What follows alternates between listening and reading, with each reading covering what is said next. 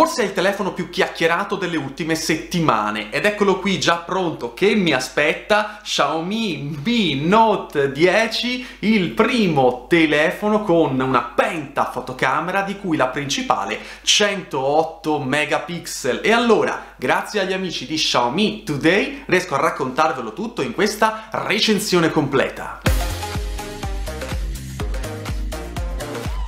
Eccolo qui ragazzi, Xiaomi Mi Note 10, bellissimo. Beh, quando lo guardiamo per la prima volta non possiamo non rimanere a bocca aperta davanti a tanta bellezza. Perché? Perché è realizzato con questa cover posteriore in vetro bellissima, stondata sugli angoli, riflette molto bene la luce, veramente bella da vedere. Penta fotocamera in verticale da 108 megapixel principale, 2x12 megapixel, 5x5 megapixel megapixel, 20 megapixel grandangolare, 2 megapixel la macro, tutte messe in fila con il LED flash.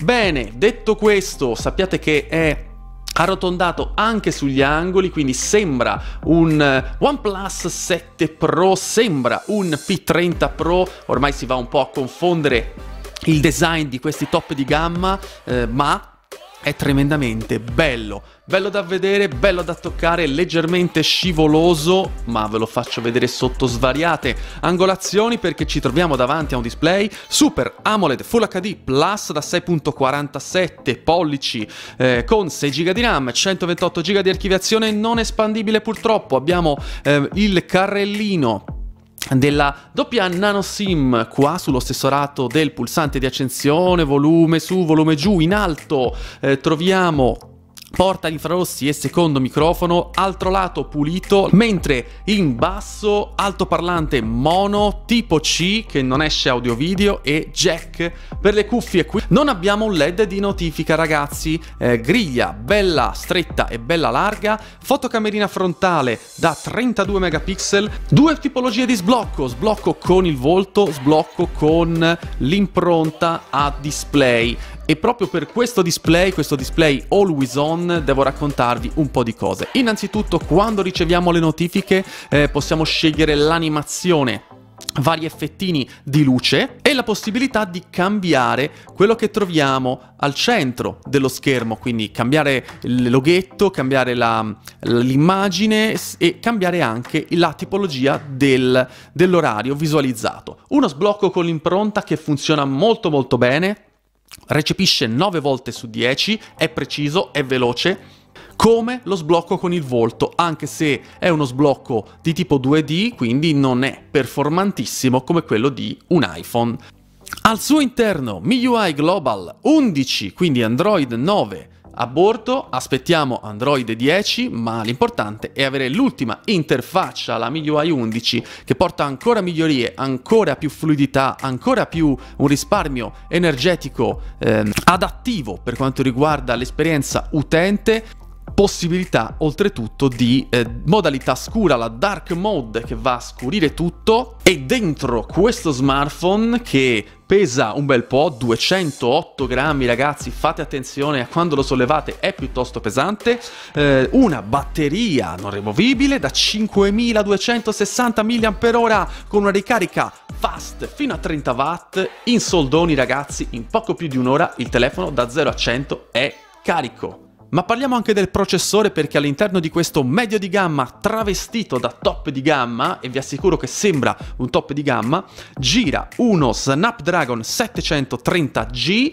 che ha delle ottime prestazioni, prestazioni che eh, ricordano tantissimo quelle ottenute con un Mi 9T, non siamo ovviamente sulla potenza bruta di uno Snapdragon 855, qui siamo con un processore medio, ma medio-alto. Se teniamo conto che la MIUI 11 fa girare benissimo qualunque tipo di telefono, e notate anche l'interfaccia come bella fluida, come non ci siano grandi tempi di attesa e non ci siano scatti quando vado ad aprire una sezione, anche la mia sezione personale, vedete come sia subito accessibile senza alcun tipo di eh, problema. Direi di passare alla prova ludica, quindi Asphalt 9, lo mettiamo subito in landscape, in orizzontale, punteggi di Antutu Benchmark e Geekbench 5, belli alti, mi ha convinto, complimenti a questo Xiaomi Mi Note 10. Vediamo un po' quanto impiega per aprire il gioco, andiamo su gioca, più veloce possibile, avanti, tutto in diretta, vi faccio vedere un po' la velocità e, e, e aspettiamo qualche piccolo scatto inizialmente, ma poi si riprende. Quindi un processore degno eh, del, del, nome Snapdragon che non ha particolari lag, qui abbasso se no mi tocca a parlare più forte e direi che la giocabilità è pazzesca. Proprio i lag se ci sono, ci sono solamente eh, all'inizio del gioco con eh, una percentuale veramente bassa.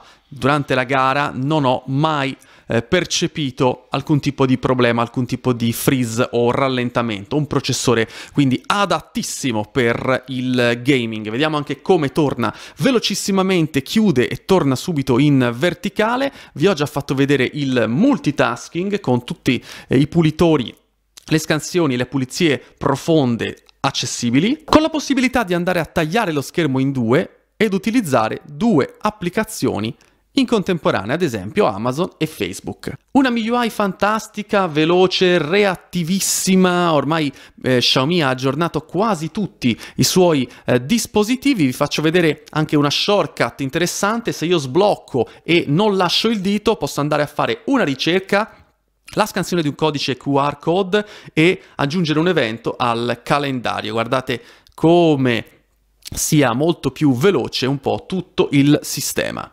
Durata batteria, quanto dura? Beh, vi faccio vedere subito screenshot del consumo, uno scarico abbastanza lineare tranne in determinate fasce orarie in cui lo spremo maggiormente il telefono, totalizzando con il 5% di carica residua 6 ore e un quarto, quindi dovrebbe scaricarsi intorno alle 6 ore e 30 di display.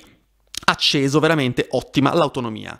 E ascoltiamo anche la sezione musicale, l'audio esce da questa cassa qua, è bello potente, ve lo faccio sentire subito, alziamo a palla e andiamo.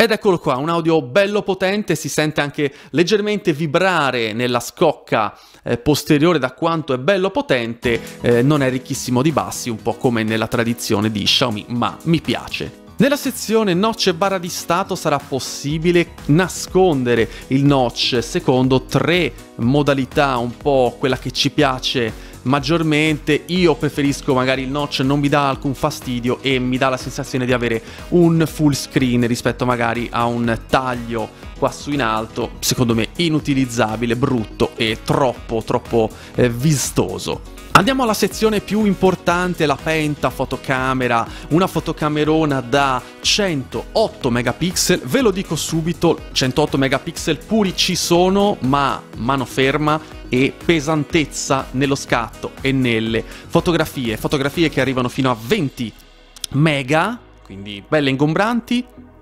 Guardate lo scatto, avete visto? Si è frizzato un attimo il telefono, il tempo di pensare e via. Si perde l'attivazione dell'intelligenza artificiale eh, che troviamo nella sezione fotografia, eccola qua. Nella sezione fotografia l'obiettivo da 108 megapixel viene interpolato in foto da 27 megapixel, quindi 4 pixel in uno, per eh, foto più luminose. Ma non manca ovviamente la eh, grandangolare, quindi questi 20 megapixel, non manca la macro quindi la possibilità di scattare veramente vicini ad un corpo, ad un soggetto, la 2x e la 5x, guardate come sono vicino al pupazzetto. Modalità 108 megapixel l'avete già vista, la modalità ritratto con la possibilità di andare ad aprire o meno la lente per sfocare quello che sta dietro al soggetto, modalità notte, quindi presente di default la notte, panorama, modalità pro. E per finire video ve l'ho già detto, in 4K 30 frame per secondo, video breve e slow motion. E andiamo a vedere velocità di scatto e successivamente come scatta le fotografie anche con la selfie cam da 32 megapixel. Vado ad aprire la fotografia, partirei proprio dai selfie ragazzi, cari ragazzi, partiamo dai selfie, mi sono piaciuti, mi ha veramente colpito soprattutto lo scontorno, quello che sta dietro di me, la linea marcatissima fra corpo e spazio dietro al soggetto, veramente fatto bene. Vi faccio vedere un po' varie angolazioni, partirei anche con un sacco di fotografie in varie condizioni di luce, ma non solo buio, giorno, ma anche vicino, lontano, grandangolo e macro. Quindi guardate la bellezza, guardate come scontorna, guardate il dettaglio offerto da Mi Note 10. Non mi soffermo molto sul, sulla singola fotografia, ma spero che possiate apprezzare davvero tanto il gioco di luce, la messa a fuoco, il bilanciamento, insomma una fotografia, un campo fotografico ricco di opzioni e che darà tantissime soddisfazioni a voi, a tutti quelli che proveranno questo telefono. Appassionati, secondo voi quanto abbiamo speso? Per portarsi a casa lui, Xiaomi Mi Note 10, servono al lancio 599 euro, ma online siamo a fine anno, stiamo per abbracciare il 2020, eh, si trova intorno ai 410 euro importato dalla Cina, un telefono sicuramente molto originale, molto particolare che gira bene in tutto, soprattutto nel reparto fotografico dove Xiaomi ha alzato l'asticella prima con il Mi 9T ha alzato l'asticella dal punto di vista del design, adesso alza ulteriormente l'asticella dal punto di vista fotografico, ma l'idea di un 108 megapixel è solamente una fissazione dell'utente perché vi assicuro che non contano i numeri, conta la qualità. Qui la qualità c'è, ma 108 megapixel ovviamente è una trovata commerciale. Eh, il telefono è bello, gira benissimo e quindi è approvato. In sostanza un Mi 9T che fa delle bellissime foto e ancora più bello.